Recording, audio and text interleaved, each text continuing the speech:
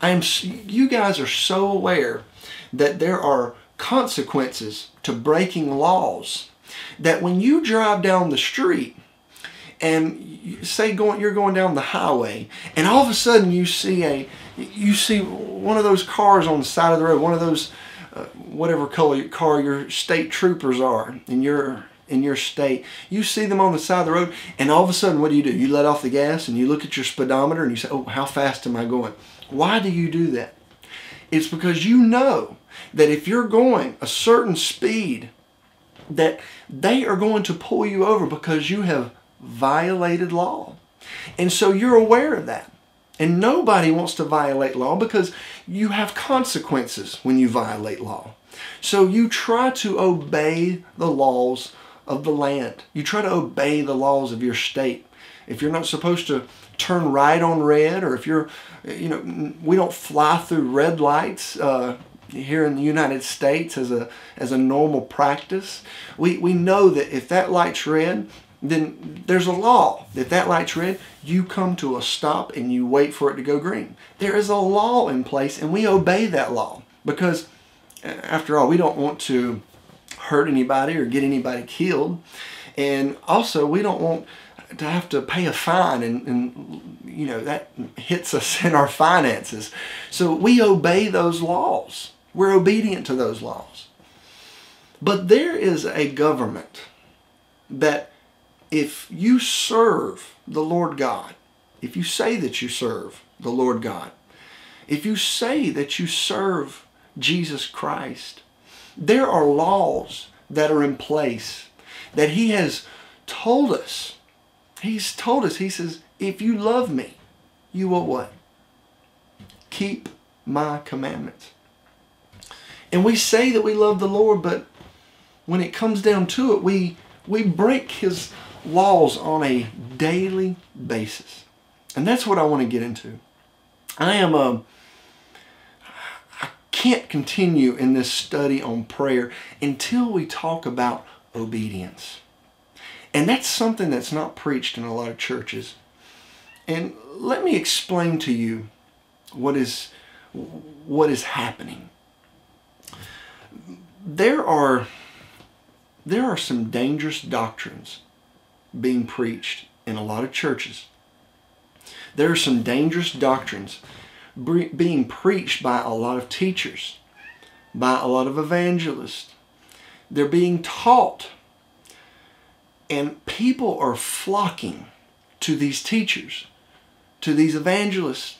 They're flocking to these pastors, these churches the Bible says in the last days they would they would flock towards these people in, in with itching ears. It means they were looking for somebody to scratch their ears to give them exactly what they want. They want to hear a, a, a word, a doctrine that doesn't come against the way they want to live. They want to hear a a doctrine that doesn't cause them to have to change that much. They want to hear a doctrine that will let them do whatever they want and still feel like I'm serving the Lord and I'm still in His good graces. And God has really gotten my attention about this. And I am, I am very troubled by many of the things that I'm seeing and I'm hearing. People that are doing whatever they want to during the week Monday through Friday. They act however they want to. They talk however they want to. They hang around with whoever they want to. They, there's no separation in their life.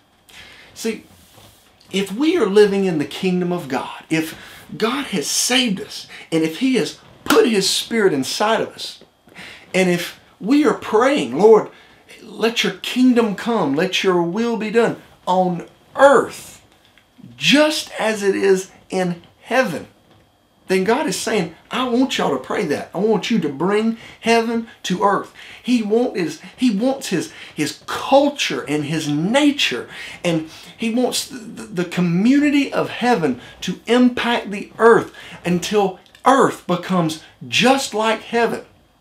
You don't believe me?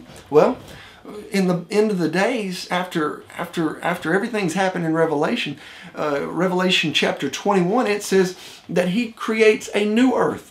Why would He create a, a new earth, a renewed earth? Why would He renew the earth if we're all going to be in heaven? Why is He so concerned about making a place for us? Why is He so concerned about that?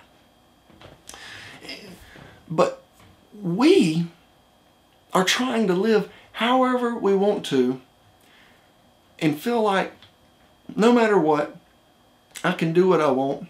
I can live how I want to during the week. But in the end, I'll still go to heaven. How? How do we get, where do we get this doctrine? Hmm? Where do we get this doctrine from? God wants his culture to impact the earth. If if I see someone and they're wearing a uh, what we call a kimono, everyone knows that is a, a cultural outfit or garb that uh, those of, of, Japanese culture wear. If I see someone wearing that, I can, I'll, it'll get my attention because I'm used to seeing somebody in jeans and a t-shirt or or, or a suit. And if I see somebody in that, I'll, the, what pops into your head? Oh, they must be from Japan. Why do you think that? Because of what they're wearing. You can see by their the way that they talk, the way that they they speak. You can say, man, there's something different about them. They're they're from a different place. They're not from here. So let me ask you, where do people think you're from during the week? Are you different during the week than you are on Sunday morning or Sunday evening at church? Do you have two different uh, roles that you play during the week? Or are you do you have God living inside of you all the time and you're always reflecting his nature, his culture? People are supposed to see us and they're supposed to say there's something different about them. Not because we have a big 10 foot Bible under our arm or we're trying we're walking around all holier than thou or trying to make sure everybody knows that we serve the Lord. But they hear us in our speaking. They hear our honesty. They hear our humility. They hear how humble we are. They see how we praise the Lord and give thanks to God for things, for even the most insignificant things. And we do it in modesty, not trying to showboat, but we're just so thankful for everything. They, they hear us and they, they don't see us complaining like everyone else or being negative like everyone else. And they look at us and say, there's something different about these people. What is it that's different? We're supposed to be reflecting His nature. We're supposed to be reflecting the culture of heaven. But the problem is that I see people saying, Oh, I love the Lord. Praise God. Yes. Oh, yes, God's good. Or I love my church. I, church is great. I, I can't wait. Oh, yeah, yeah, we do that. We do the singing. Yeah, we do clapping. And oh, we have great events. And we have, oh, we have a good time out there. But some of these people, I, I see their lifestyle. I see what they're doing. And I know that God's working on all of us all the time. But there are some things that are so basic, that are fundamentals as kingdom citizens, that we don't want to hurt the Lord. We study. And I've watched some of these people over multiple years, and they're still in these same practices still committing these same sins. Just, oh, it's, oh, it's just a white lie. Oh, just an occasional lie here or there. We, you know, you're not really sick, but you call in to work and say, oh, hey, I, I'm sick. And we excuse that because, after all, we have sick time.